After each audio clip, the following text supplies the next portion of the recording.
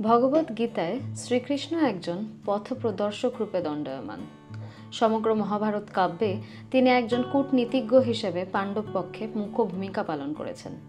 কুরুক্ষেত্রের যুদ্ধে অর্জুনের রথের সারথী রূপে অবতীর্ণ হয়েছেন। তিন হাজার দুশো আঠাশ খ্রিস্টপূর্বাব্দে ভারতের মথুরায় একটি শিশুর জন্ম হয়েছিল।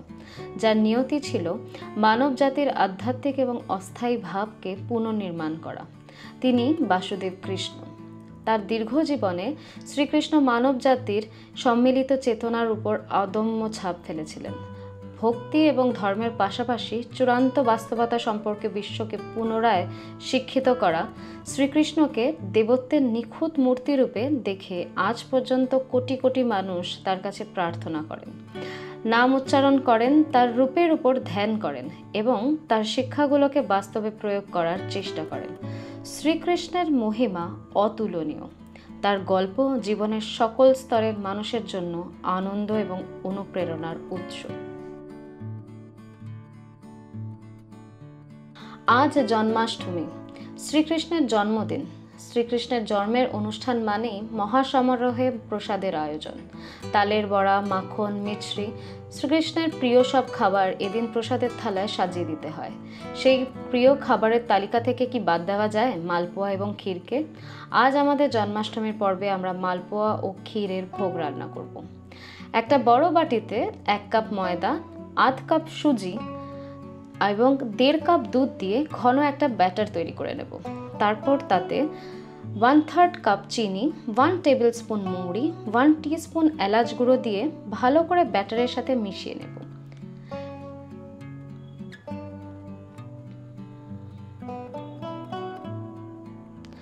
এরপর প্যানে সাদা তেল গরম করে তাতে বড় হাতা বা চামচে করে অল্প অল্প ব্যাটার দিয়ে পাতলা এবং কোল করে ভেজে নেব।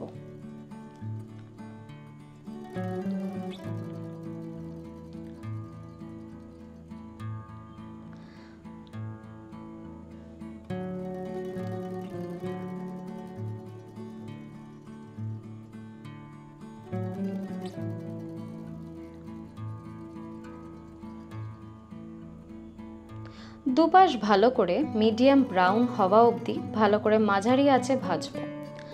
ভাজা হয়ে আসলে তেল ছেঁকে মালপোয়াগুলোকে তুলে নেব।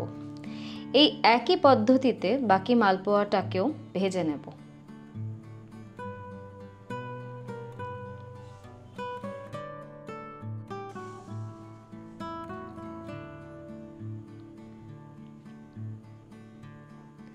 মালপোয়া ভাজা হয়ে গেলে একটি প্যানে দু কাপ জল ওয়ান থার্ড কাপ চিনি এবং ওয়ান থার্ড কাপ গুড় দিয়ে মালপোয়ার শিরাটা বানিয়ে নেব।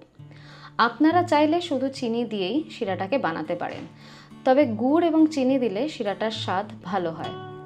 জলটা ভালো করে ফুটে উঠলে গ্যাসের আঁচ বন্ধ করে দেব।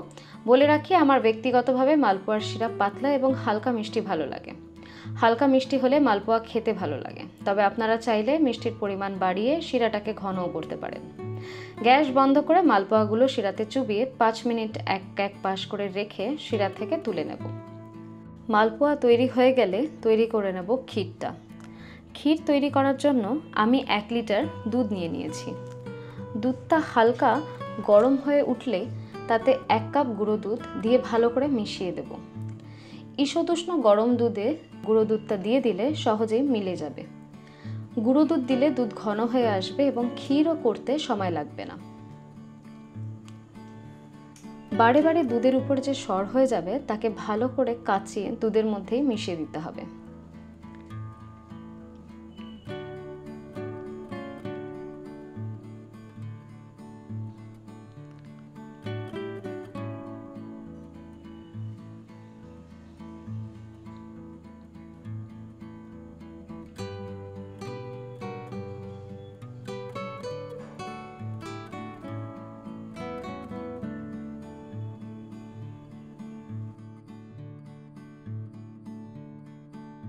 দুধ যখন প্রায় শুকিয়ে আসবে, তখন তাতে স্বাদমতো চিনি ও এলাচ গুঁড়ো দিয়ে নামিয়ে নিতে হবে।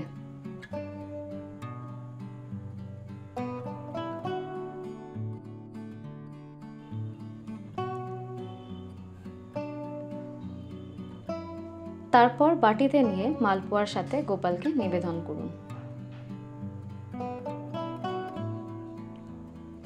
শ্রীকৃষ্ণের শিক্ষা সকলের জন্য উপযুক্ত। তিনি শুধু সমাজের একটি বিশেষ অংশের স্বার্থে আসেননি। তিনি সকলকে দেখিয়েছিলেন উন্নতির পথ। তিনি আমাদেরকে আমাদের প্রকৃত ধর্ম অনুসারে জীবনযাপন করতে, এতে অবিচল থাকতে এবং এইভাবেই চূড়ান্ত লক্ষ্যের দিকে জীবনে অগ্রসর হওয়ার আহ্বান জানান। শ্রীকৃষ্ণের উপস্থিতিতে কোনো দুঃখের স্থান ছিল না। তিনি ছিলেন আনন্দের মূর্ত প্রতীক। তার সঙ্গে সবাই আনন্দ করত, সব ভুলে।